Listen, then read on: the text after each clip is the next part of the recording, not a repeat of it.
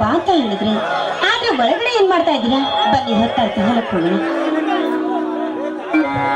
ರೇವತಿ ಹೊಲಕ್ಕೆ ಹೋಗಿ ಮಾಡೋದಾದರೂ ಏನಿದೆ?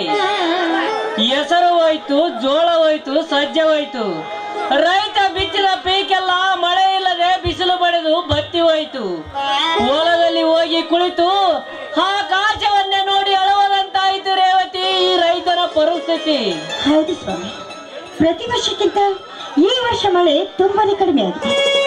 ಹೀಗಾದ್ರೆ ಮನುಷ್ಯ ಹೇಗಾದ್ರೂ ಜೀವನ ಮಾಡಬಹುದು ಆದ್ರೆ ದನಕರುಗಳ ಗತಿಯಾದ್ರೂ ಏನು? ಅದೇ ಜನರಿಗೆ ತಿಳಿಯದಂತಾಗಿದೆ ರೇವತಿ ಕೈಯಲ್ಲಿ ಹಣವನ್ನು ಹಿಡಿದು ಹಳ್ಳಿ ಹಳ್ಳಿ ತಿರುಗಿದರೂ ಮೇವು ಸಿಗ್ತಾ ಇಲ್ಲ. ದೊಡ್ಡ ದೊಡ್ಡ ರೈತರು ಲಕ್ಷ, ಎರಡು ಲಕ್ಷದ ಎತ್ತುಗಳನ್ನು ಕಟ್ಟಿ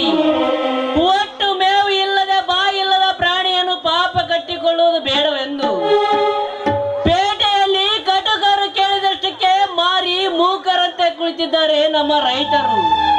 ರೈತನಿಗಾಗುವ ಕಷ್ಟ ನೋಡಿದರೆ ಯಾವ ಜನ್ಮದಲ್ಲಿ ರೈತನಾಗಿ ಹುಟ್ಟಬಾರದು ರೇವತಿ? ಹುಟ್ಟಬಾರದು. ಇಂಥ ಮಾತುಗಳಿಂದ ಮಾತಾಡಿ ರೈತನೇ ಈ ರಾಷ್ಟ್ರದ ಬೆನ್ನೆಲುಬು. ರೈತನ ಕರೆ ಜಗವಿಲ್ಲ ಸಕ್ಕರೆ ಎನ್ನುವ ನಾಣ್ಣುಡಿಯ ಮಾತನ್ನ ನೀವು ಕೇಳಿಲ್ಲ ಒಂದು ರೈತನೇ ಒತ್ತಿ ಬೆತ್ತಿ ಬೆವರು ಸುರಿಸಿ ದುಡಿಯಿಲ್ಲ ಆದ್ರೆ, ಇಡೀ ನಮ್ಮ ಜಗತ್ತಿನಲ್ಲಿ ನೂರು ಕೋಟಿ ಜೀವರಾಶಿಗಳು ಬದುಕಿ ಬಾಳೋದಕ್ಕೆ ಸಾಧ್ಯವಿದೆ ಅದಕ್ಕೆ ಈ ನಮ್ಮ ದೇಶದಲ್ಲಿ ರೈತರನ್ನ ಗೌರವಿಸೋದು. ಗೌರವ? ಯಾವಾಗ ಸಿಕ್ಕಿದ ರೇವತಿ ಈ ದೇಶದಿಂದ ರೈತನಿಗೆ ಗೌರವ? ನೂರಾರು ರೈತರ ಮನೆತನವನ್ನು ಹಾಳು ಮಾಡಿ ಕೋಟಾರುಗಟ್ಟಲೆ ಹಣವನ್ನೇ ಸುರಿದು ಎಂಡ ಕಂಡ ತಿನಿಸಿ ಜನರನ್ನೇ ಮರಳು ಮಾಡಿ ರಾಜ್ಯವನ್ನೆಲ್ಲ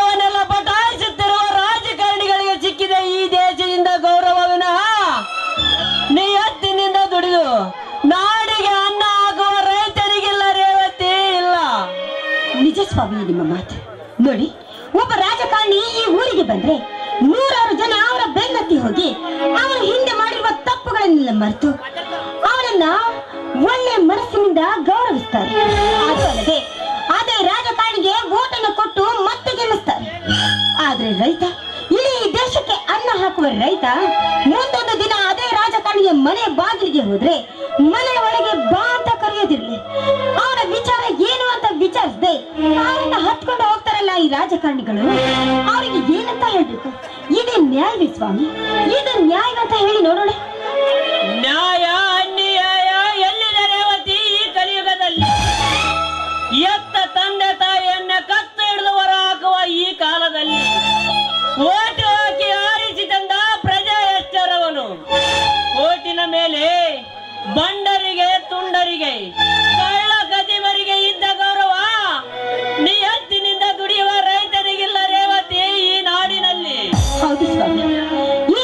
ಸಮಾಜದಲ್ಲಿ ರೈತರಿಗೆ ಎಳ್ಳಷ್ಟು ಕೂಡ ಬೆಲೆ ಅನ್ನೋದಿಲ್ಲ ಮಾತನಾಡ್ತಾ ನಿಂತ್ರೆ ಹೊಲಕ್ಕೆ ಹೋಗೋದಕ್ಕೆ ಹೊತ್ತಾಗುತ್ತೆ.